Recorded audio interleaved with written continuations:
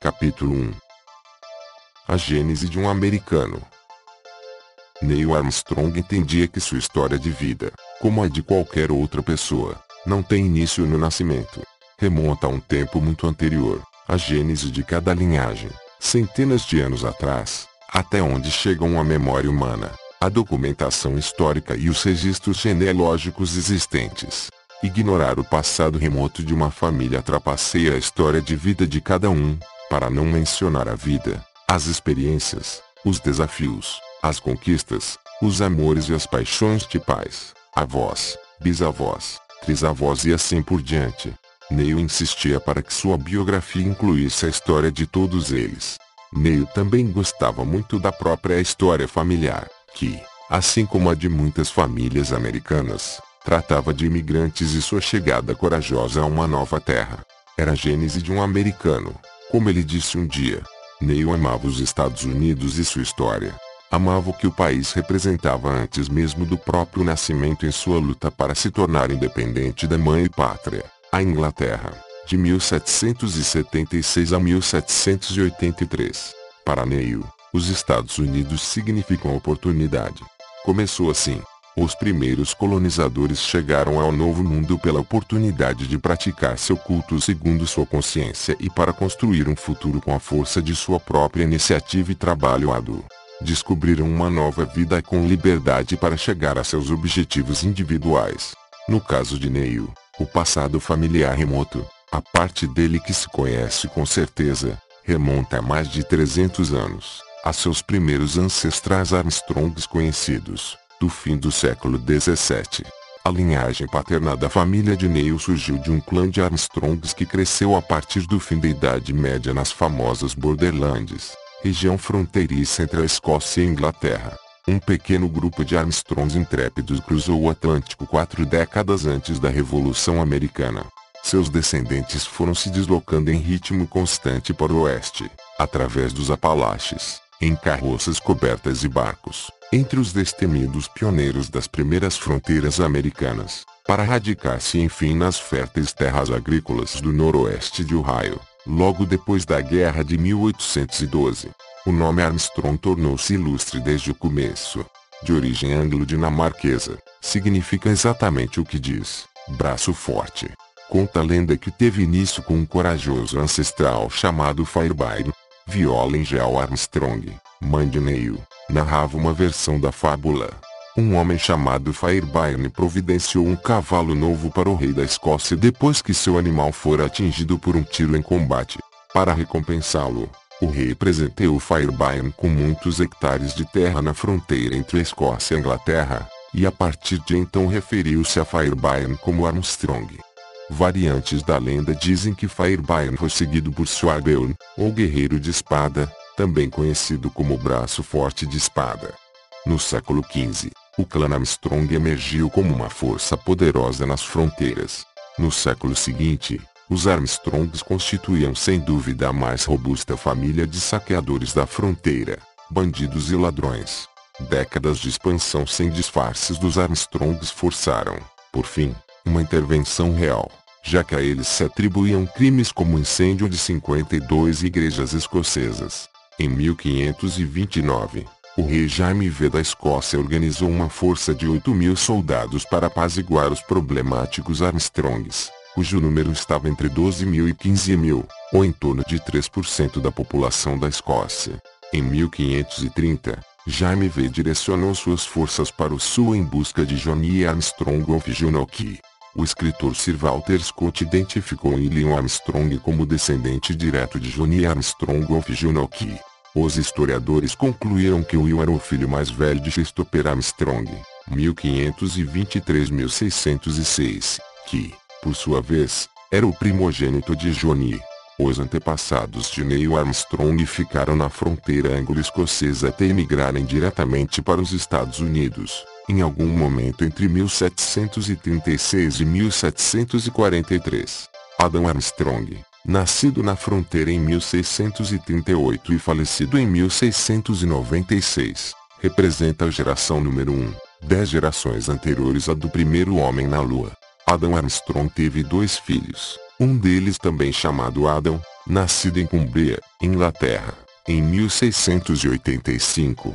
Aos 20 anos, Adam Armstrong II casou-se com Marie Forster, em companhia do pai, Adam Abraham Armstrong III nascido em 1714 ou 1715, cruzou o Atlântico em meados da década de 1730, aos 20 anos, o que fez deles os primeiros da linhagem de Neil a migrar para os Estados Unidos.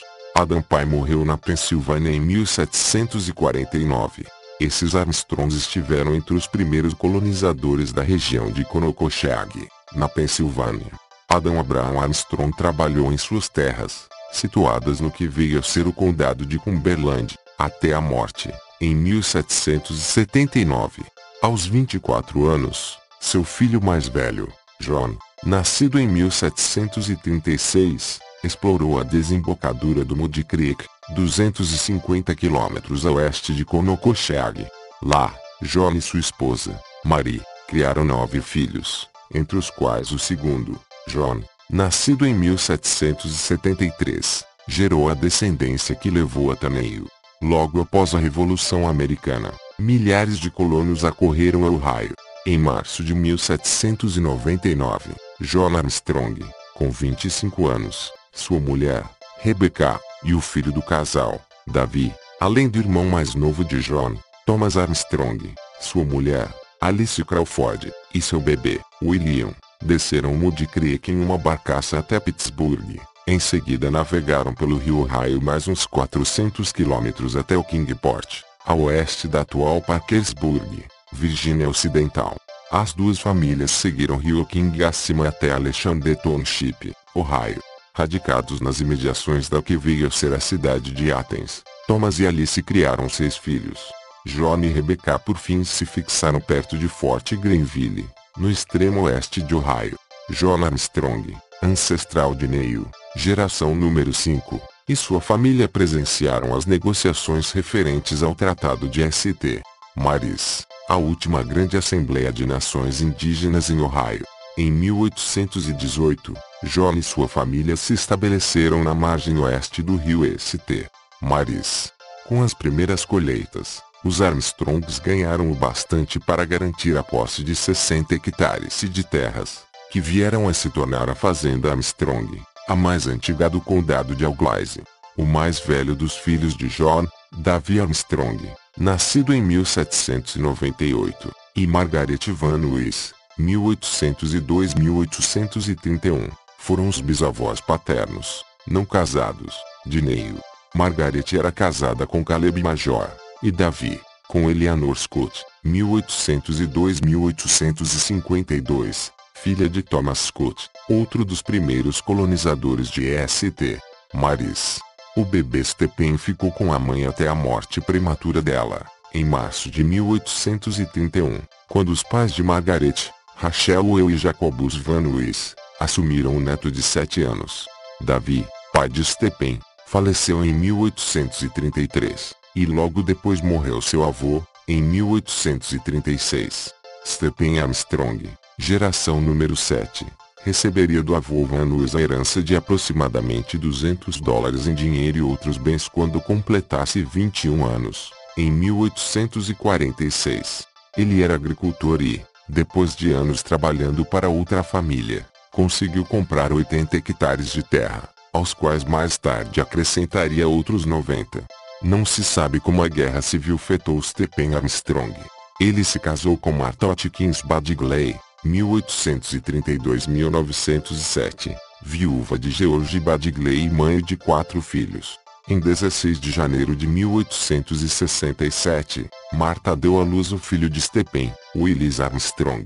Quando faleceu em agosto de 1884, aos 58 anos, Stephen Armstrong tinha bem mais do que 170 hectares, que valia mais de 30 mil dólares, o equivalente hoje a mais de 700 mil dólares. O filho único de Stephen, Willis, herdou a maior parte da propriedade. Três anos depois, casou-se com uma moça local, Lillian Brewer, 1867-1901.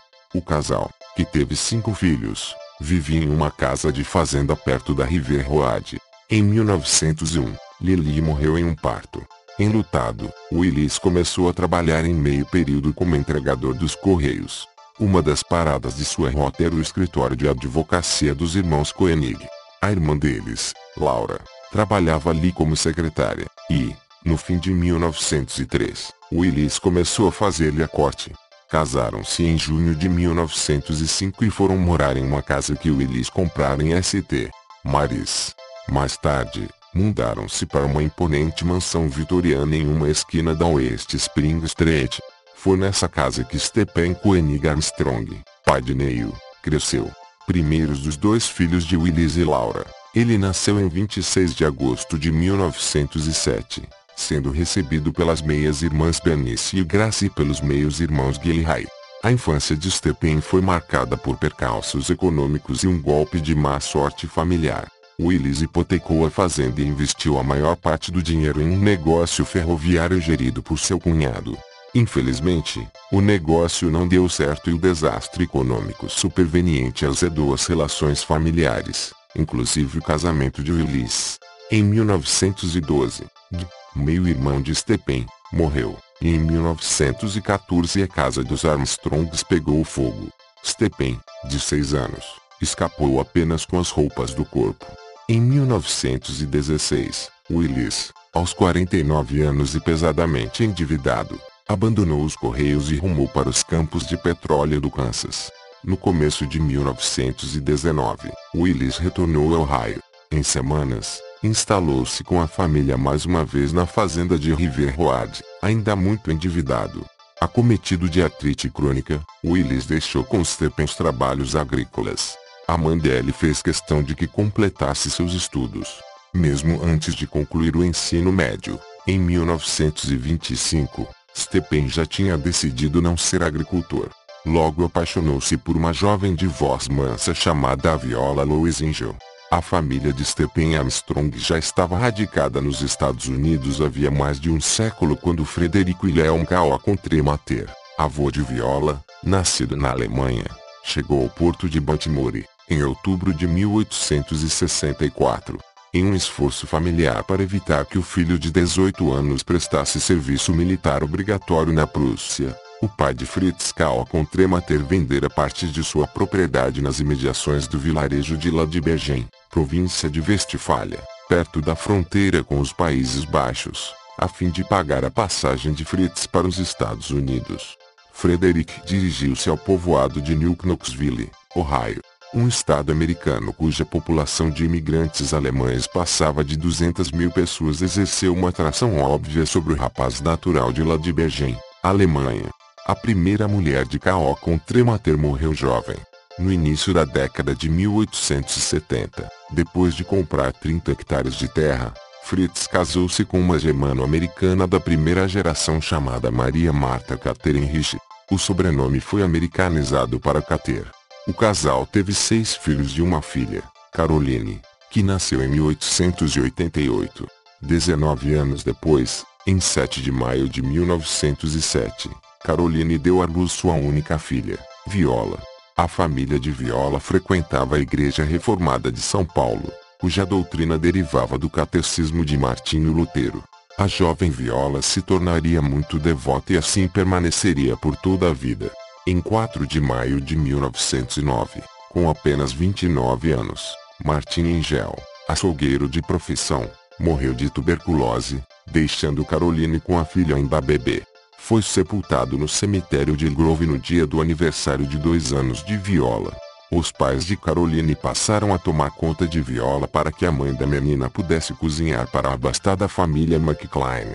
Em 1911, Maria, mãe de Caroline, faleceu, e em 1916 foi a vez do avô Cater. Para Caroline, a perda deu lugar à felicidade quando floresceu um romance entre ela e um agricultor local, William Ernst Korspeter, que ela conhecera na igreja reformada em St. Mary. Eles se casaram em 1916. Viola foi matriculada na Blooming Show em Wapakoneta. Moças guia de jeito simples. Viola tirava notas altas. Estudava piano desde os oito anos, e seu gosto pela música era conhecido. Essa característica, assim como criatividade, concentração, organização e perseverança, ela transmitiria ao filho, Neil. Contudo, a mais cara aspiração de Viola era dedicar a vida a Cristo como missionária, mas seus pais o desencorajaram de ideia. Em vez disso ela trabalhou como funcionária de uma loja de departamentos ganhando 20 centavos por hora. Foi assim que Viola começou a ver Stephen Armstrong, que acabara de se formar no ensino médio. Eles se falaram pela primeira vez durante um encontro de jovens da Igreja Reformada de São Paulo, e o ardor daquela paixão juvenil dissimulou suas muitas diferenças, que com os anos se tornariam cada vez mais claras, até o ponto de, mais tarde, Viola chegar a se questionar se teria sido correto um casamento com um homem nada religioso.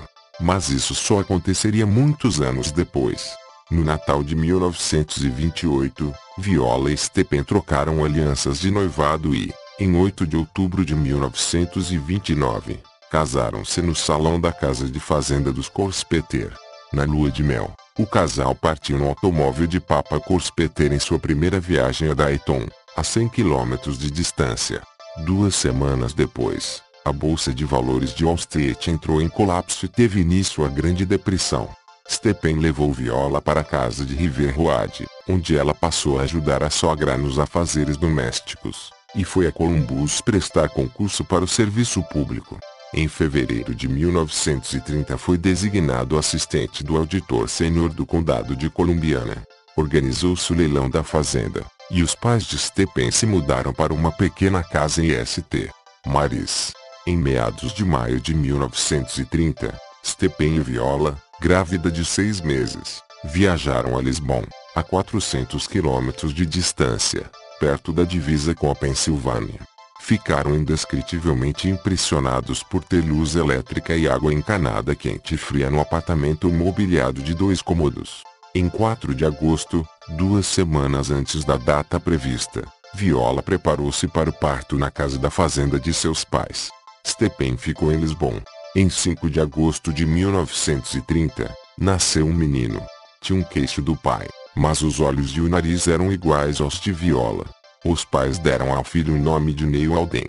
Viola gostava da literação Alden Armstrong e da ilusão Alden no poema clássico de Henry Wadsworth Longfellow. O namoro de Miles Standish. Ninguém na família tinha sido batizado com o nome de Neil. Talvez eles soubessem que Neil era a forma escocesa do nome gaélico Neal, que significa nuvem, ou que, em sua forma moderna, quer dizer campeão.